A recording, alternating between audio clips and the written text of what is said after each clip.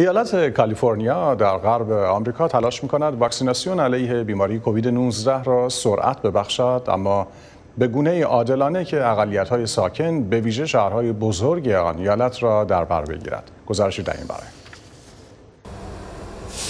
در کالیفرنیا در عین حالی که استادیوم های ورزشی و مراکز وسیع دیگری به واکسیناسیون سراسری علیه کووید 19 اختصاص داده شده مراکز محلی کوچکتری در مناطقی که قشر اقلیت و فقیر در شهرهای بزرگتر را در خود جا داده دایر شده است که افراد واجد شرایط بدون وقت و ثبت نام قبلی می توانند در آنجا واکسن دریافت کنند.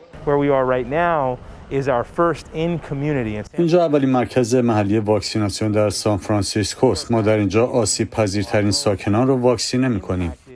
به گفته جان جاکوبو رئیس کمیته بهداشت لاتین تباران این قشر اقلیت ساکن فرانسیسکو در مقایسه با دیگر گروه های نژادی 15 برابر در ابتلا به کووید 19 آسیب پذیرترند. آمار اولیه واکسیناسیون در کالیفرنیا هاکیست در قیاس با میزان ابتلا به کووید 19 در این ایالت تعداد نسبتا معدودی از لاتین تباران واکسن کرونا دریافت کردند. Uh, خیلی ها چون سالخورده و آسیب پذیر هستند یا مهاجران غیرقانونی که از پلیس میترسند محله هاشون رو ترک نمی کنند و این ایستگاه های محلی واکسیناسیون به همین خاطر مهمند.